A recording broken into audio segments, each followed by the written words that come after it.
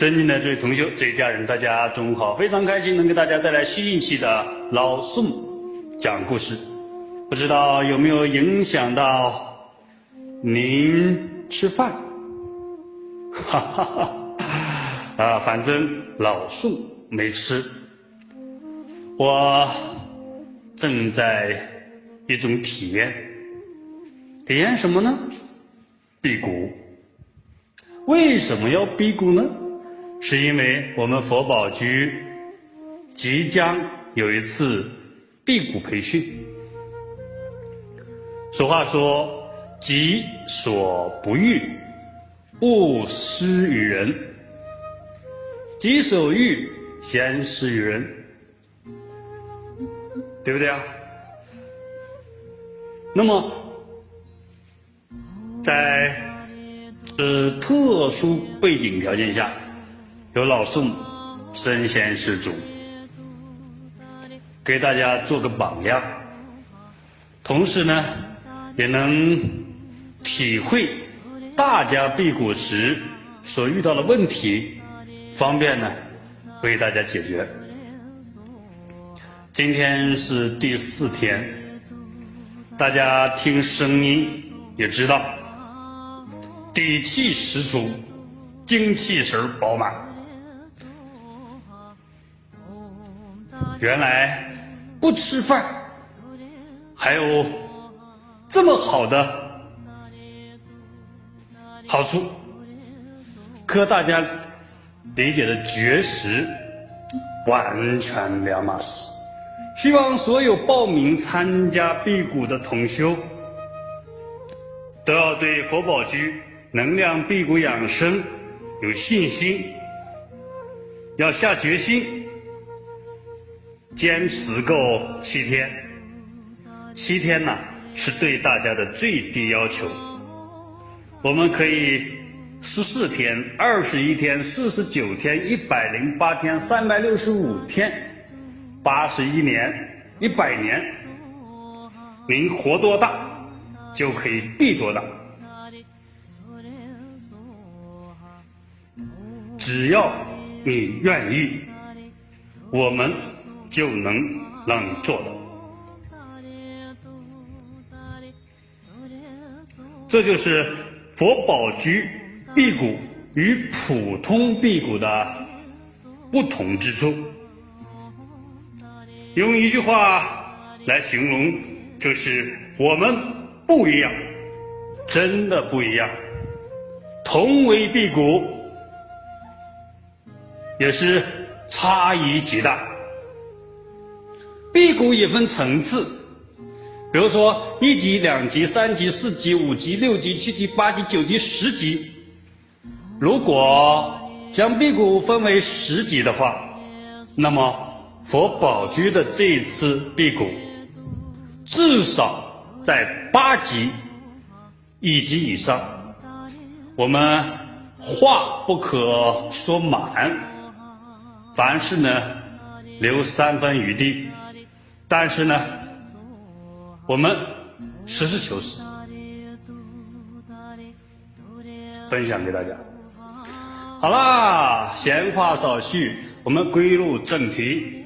今天聊点嘛？聊业障。之前我们探查了一位同学的业障，在天眼的境界里边我们看到了一个精进的出家人，年方三十余岁，为男，比丘。再看有一座庙，庙虽不大，香火还行。这位出家人呢？兢兢业业，虽然没有其他僧众的监督，但是呢，非常的自律，依然呢，早课晚课一样不落，修行精进。小庙的里里外外呢，也打扫的非常的干净，证明什么？很勤快。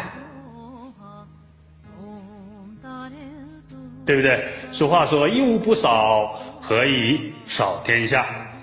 那这位僧众是有普度天下的决心，普度众生的决心，一复一日复一日，年复一年，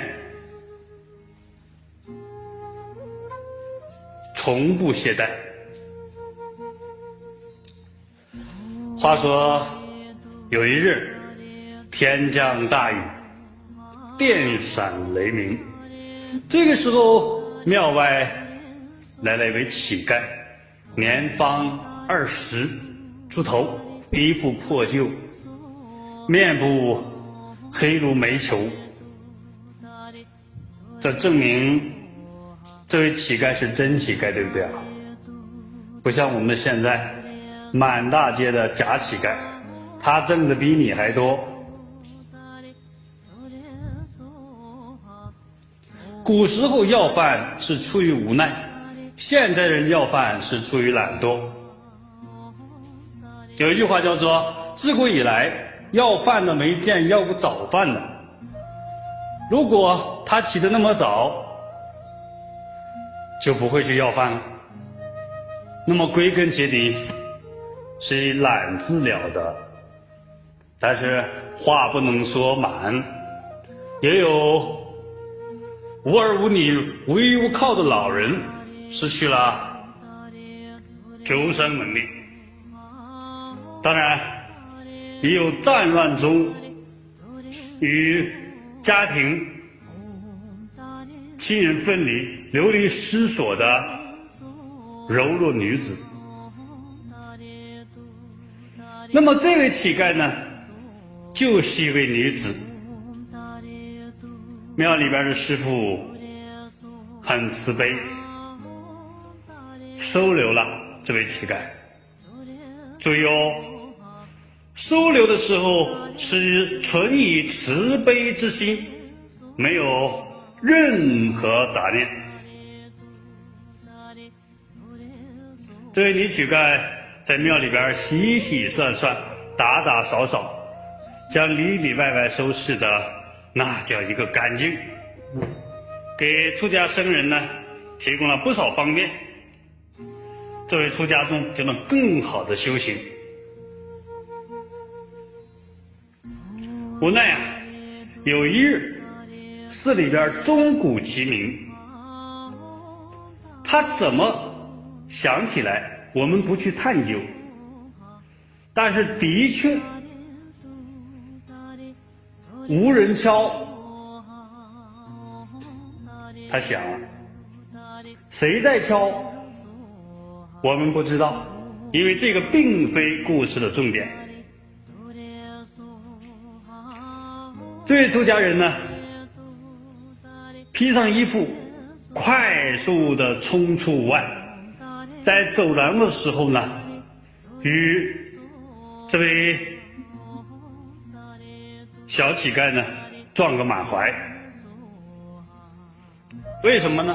因为小乞丐也赶紧出来，去看看是怎么回事其实我们现在已经不能称其为乞丐，人家是护法居士了，对不对？我们从现在开始就要称人家为居士。两个人呐，这么一撞，有一股女子特有的清新，让这位出家生啊神魂颠倒。但是出于本能，因为毕竟是修行人，还是赶紧的放开了。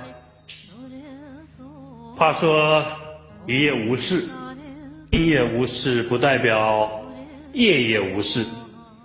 人有几种欲望，比如说食欲、性欲、求生欲等等自然欲求，是他天生在体内刻骨铭心的一种烙印。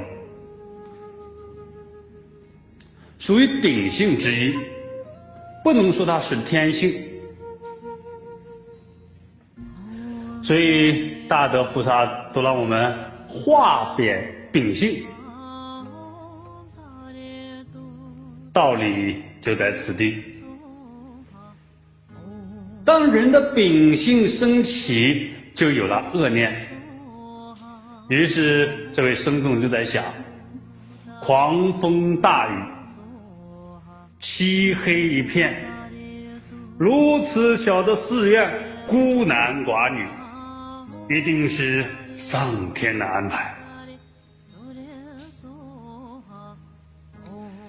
一日想，日日想。也不念佛了，也不诵经了，因为晚上想的太多，导致第日日第二天呢，也是萎靡不振。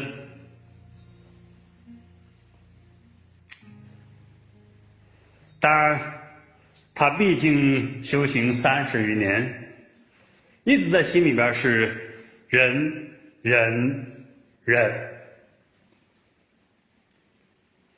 但。有一天，实在忍不住了。有一句话叫做“忍无可忍，无需再忍”。但这句话不一定对，但是用在此处却非常的应景。一日呢，出家人夜入女子房中。干什么呢？想行苟且之事。这个时候遭受了女子的疯狂抵抗，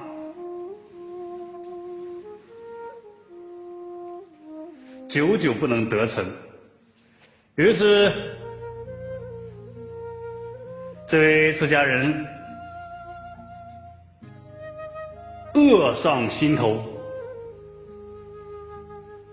拿起了身边的一个木棍，疯狂的敲打这个女子。结果怎么样？女子被打昏了。这个时候，这僧人扔掉了木棍，赶紧寻找这位女子。这时才发现，床上空空。哪里还有什么人呢？于是他很恍惚，很纠结。这种矛矛盾的心理呢，非我们常人可以想象，但是你又能想象出来，我就无需给你描述的那么透彻，对不对啊？在恍惚当中，菩萨现身。原来啊，那位乞丐女子就是菩萨呀。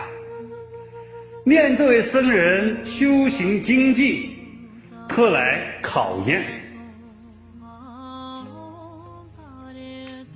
大家想考过没有啊？自然是没有。有时候我们自认为修行很精进，但有道无道，自己知道啊。我们能有这位出家僧人精进吗？不能。我们能控制自己的行为和心态吗？好像也不能。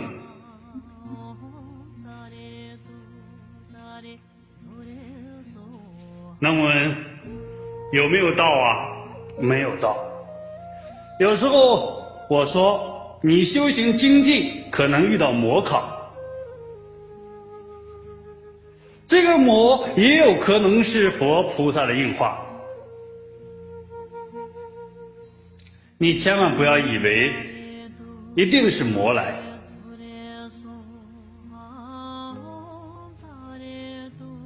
所以禅宗讲，佛来斩佛，魔来斩魔，不被外相所拘泥。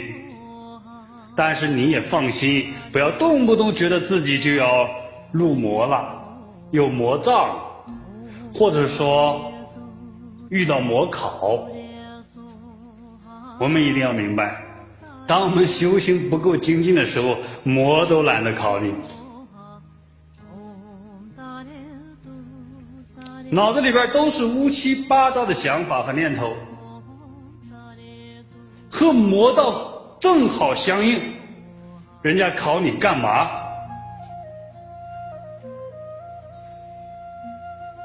也许魔还帮你，让你觉得这样就更好，这样就刚好，而不去悔改。所以修行难啊！我们知道这位圣人没过，但是这菩萨又是如何开示这位圣人呢？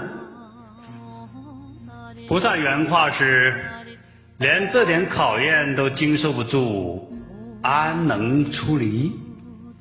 生生世世的修行，还是不能。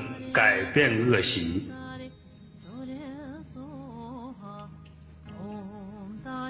他是菩萨呀。这个他就是那位居士，那位女居士。菩萨来考验你的呀。色心不除，作为修行人还这么狠毒，这两项过关失败。你看。第一个是淫心，对吧？第二个是恶念，而且淫心恶念都付诸实施了，所以业障就极大。我们平时说不怕念起，就怕觉迟。故事中这位圣人呢，念也起了，行为也办了，觉迟了。结果将受到什么业报呢？二十劫女人身为情所困，身败名裂；十劫为畜生身。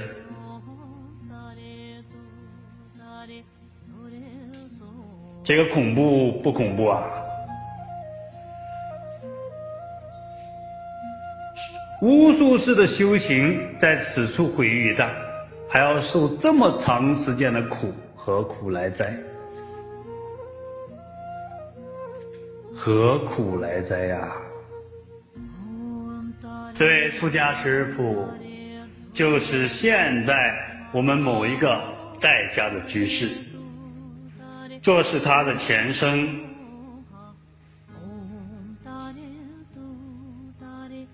这个业障出来，我们通过一定的方式忏悔，通过一定方式去补救，来化解，那是你的福德机缘所致，也是无量劫以来所造的善因所致。并不是谁都能有此机缘，大家要注意，也不是谁的业障都可以讲成故事，也不是谁的业障都可以写成一本书。我们呢，只是挑其精华来分享给大家，来告诉大家一个理。我们的念头是多么的恐怖，我们的秉性是多么的顽固，我们的一言一行、一举一动，如果不守道、不懂规矩，对不起，业苦无量。有同学问，为什么？发个愿去极乐就那么难？一点事就能去地狱，这个是你没有去思虑清楚啊！你去公园容不容易啊？不容易啊！会让你进吗？不能，难若登天。但如果说，你要去门外的垃圾桶去看看，去城市垃圾场去看看，容不容易啊？容易，没人拦着你。这犹如盖房，盖房子是很容易吗？不容易，它需要设计，需要买地，对吧？需要资金，需要技术。还需要日日夜夜的去完工，但是如果有一天你想拆房子了，就很简单，一个爆破，几台挖机，两辆卡车就搞定。大家说是不是啊？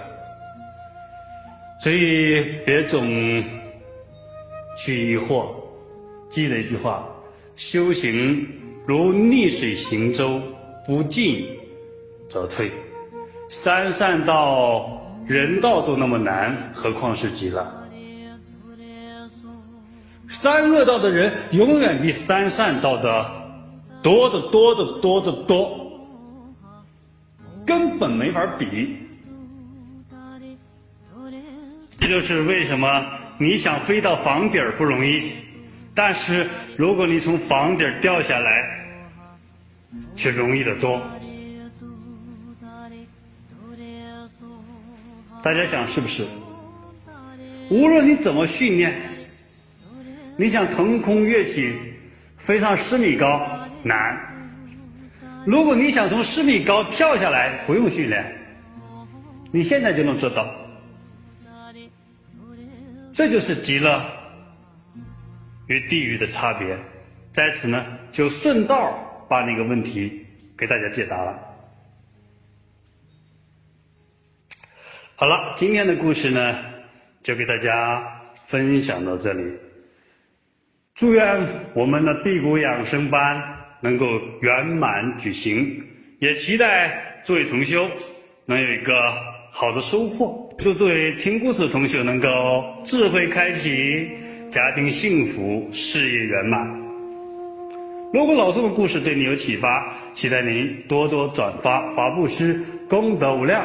阿弥陀佛。